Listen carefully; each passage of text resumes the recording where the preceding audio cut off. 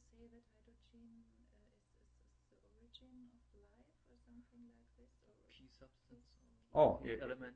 you, you can't live without it. Just like uh, like oxygen, uh, you we, we could not possibly live without hydrogen.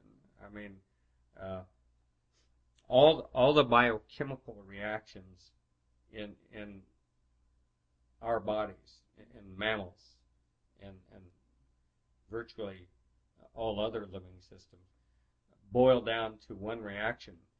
Especially uh, speaking of, of, of our life but all all uh, all living things uh, basically uh, oxygen and hydrogen oxygen hydrogen is the fuel and oxygen burns hydrogen in order to release energy giving water as a byproduct and and that that chemical reaction in the body um, of all the calories we eat 60% of the calories we consume are, are going to the manufacture of adenosine triphosphate, ATP. And, and the chemical reaction that makes ATP is one in, in which the, the, there's adenosine monophosphate, adenosine diphosphate, and adenosine triphosphate. And, and it's, it's one phosphate bond, two phosphate bonds, and then the third phosphate bond is called a high energy phosphate bond. And and Albert Szent-Györgyi, the, the uh, scientist who, who discovered vitamin C, um, and and his his entire life was spent trying to discover the secret of how the third uh, phosphate bond is formed. It's called a high energy phosphate bond, and because ATP is the fuel that runs all of our muscles, it runs our our entire body, and so 60% of the calories that we eat are used to make ATP. We manufacture in one day, all of us, our entire body weight in, in adenosine triphosphate. So I, I weigh uh, about 70 kilos. So my all the little mitochondria in my body manufacture 70 kilos of adenosine triphosphate every day to keep me alive. And and adenosine triphosphate requires H minus ions to form form the high energy bond. It's the final chemical reaction. In uh, ADP, uh, it, where in the place where, where the third phosphate bond goes is uh, is oxygen in ADP, adenosine diphosphate, and so the H minus ion enters the cell, and it and it combines two H minus, uh, minus ions actually combine with the oxygen from ADP to create water, releasing energy, which then causes the third phosphate bond to form, forming ATP, adenosine triphosphate, which is then burned by our muscles as fuel. And so um, that third chemical reaction is the most important chemical reaction in life, and it's the last chemical reaction that gives us our life, and it is hydrogen being burnt by oxygen to create water as a byproduct, releasing the energy of life itself. And Albert Szent-Györgyi said hydrogen is the fuel of life. And the other thing is is that Albert Szent-Györgyi uh, in, in 19, 1921 through 1923, there were some papers published in medical journals talking about hydrogen being stored in the organs of the body and wondering what the hydrogen was for. And they called it active hydrogen. And active hydrogen. active hydrogen, yes. And, and so it turns out that, that back then they didn't know the difference. They, they just knew there was one form of hydrogen that was active and one form that was not. And, and the active hydrogen, what makes it active is the extra electron, H minus. That's what makes it active chemically. And so, uh, so hydrogen is the fuel of life.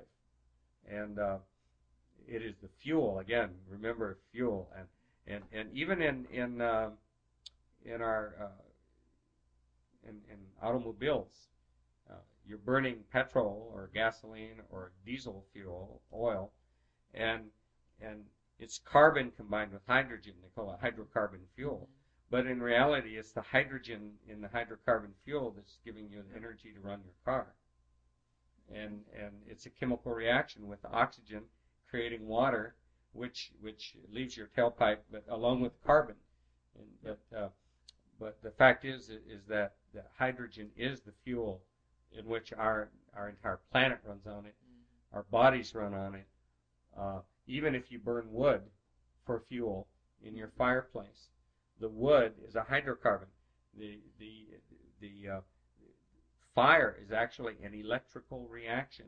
Uh, electrical ions are, are, the cause of fire. This this is something which is which is well known. Uh, but uh, but the the heat causes the release of hydrocarbon, which is hydrogen attached to carbon, to be released from the wood, which is then burned. It actually burns with oxygen, releasing heat, giving you the warmth. So so a candle flame uh, is burning hydrogen. The fuel in your fireplace is burning hydrogen. The fuel in your car is burning hydrogen.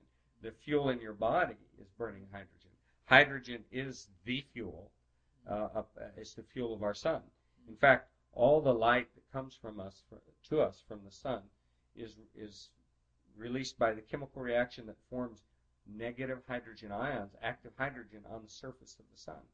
And uh, uh, Chandrasekhar, who is the, the Indian from India scientist who got the Nobel Prize for discovering how the sun emits light. But the chemical reaction that gives us life, light from the sun and warmth, that chemical reaction is the formation of active hydrogen, H minus ions, on the surface of the sun. And when those ions are formed, it releases light which is which is what warms us and, and makes life possible on Earth. So so from from a uh, uh, general viewpoint uh, of uh, of, um, of universal law, hydrogen is is the source of all life in the universe. I mean, it, it has to. It's the source of the light from every star that we see in the sky. It's the source of energy from from all of those things. So uh, so it's not surprising that our that our biological systems need hydrogen and need hydrogen in the active form. The problem is is that uh, okay, how is hydrogen stored in the organs of the body? Well, it turns out that hydrogen is stored. It's attached to sulfur, and it's called a sulfhydryl bond, which is a sulfur hydride bond. And, and it turns out that, uh, that glutathione, one of the most important uh, molecules in the body, is, is how one way, there are several uh, sulfur molecules in the body that store H minus ions, active, active hydrogen, in the body in, in, the, in a chemical form like a battery. And it turns out that glutathione is one of the most important ones. So sulfur and hydrogen combined together to form glutathione is another way that our bodies store active hydrogen. And because if we don't get active hydrogen daily in our diets, uh, and we don't eat the right kind of food, then the body has to get it from somewhere, and so it uses the, the, the sulfur form stored in the form of sulfur and hydrogen in the body. And glutathione is just one of those.